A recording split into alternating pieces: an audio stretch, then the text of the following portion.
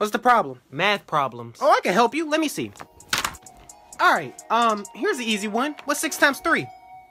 Six times three. I don't know. Six times three. I don't. Six times three. I legit don't know. Six three. I don't know. What is it? What is it?